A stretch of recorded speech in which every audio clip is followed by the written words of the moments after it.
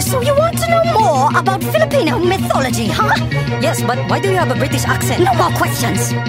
Wear this third eye. It will explain everything. In the Pacific, in the vicinity of old Lemuria, exists creatures beyond your wildest imagination. Watch where you're stepping because I am a duende. I also go by elf, dwarf, goblin.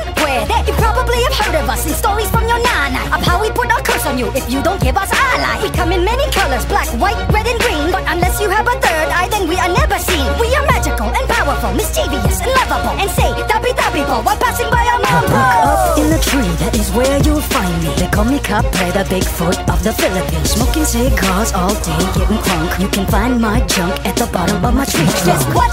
Wala lang, I'm a half macho dancer, half stallion. When the night falls, I'm a terrorizing force.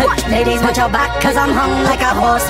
Ask your nanay about these mythical creatures. Not to every Filipino.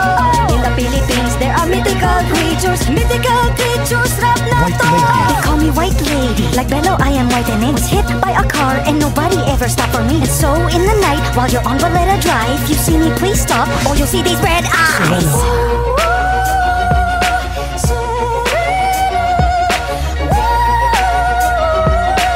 Should join the Voice Philippines team. Whitefish tail, I'm a Filipina mermaid. Sex appeal with hydration like I'm Gatorade. But if you get too close to this beautiful girl, I'll pull you deep down till you're part of my world. By day, I'm an ordinary gal.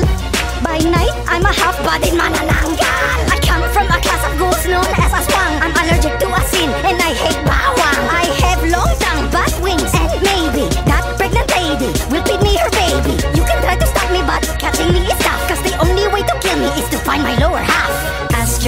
about these mythical creatures. Not to every Filipino. In the Philippines, there are mythical creatures. Mythical creatures, rap na to. Floyd Mayweather. I'm Mayweather. yeah. I'm gonna beat Pacquiao.